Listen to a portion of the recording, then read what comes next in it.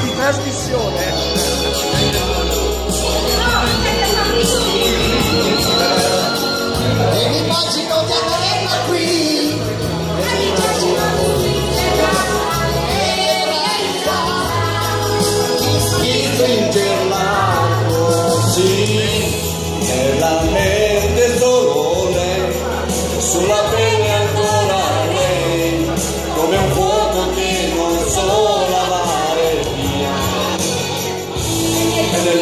che sognano io la vedo come un angelo proprio perché un angelo